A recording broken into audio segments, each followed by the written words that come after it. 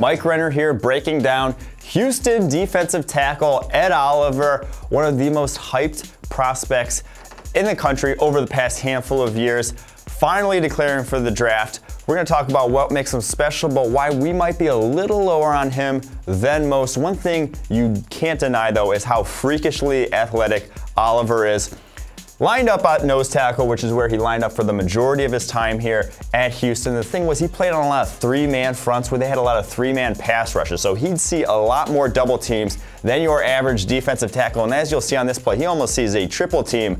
But it doesn't matter because this is what teams are going to fall in love with the raw physical tools. If you'll run it here, you just see the burst after he knocks that center out of the way to get to the QB. He is so explosive that you just think if you can harness that raw physical ability at some point down the road, he could be an elite defensive lineman in the NFL.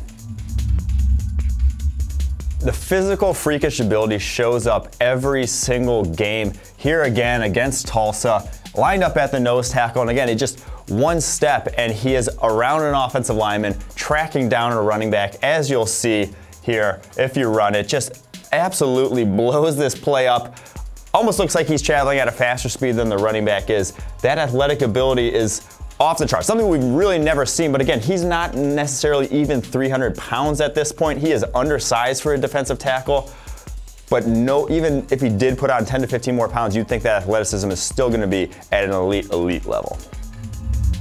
This next clip was arguably the most absurd play I saw all season long. Ed Oliver here lined up at about a three tech right over the right guard. And you'll see the quickness with which he beats the, the, right guard and then dips the shoulder. The flexibility there is unlike anything I've really ever seen from a defensive tackle if you're running here. This is Aaron Donald-esque in terms of how quickly he wins.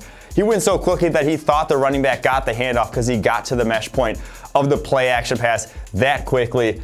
Ed Oliver really is a special athlete that we have not seen in the past handful of years. Anything since probably Aaron Donald at the defensive tackle position.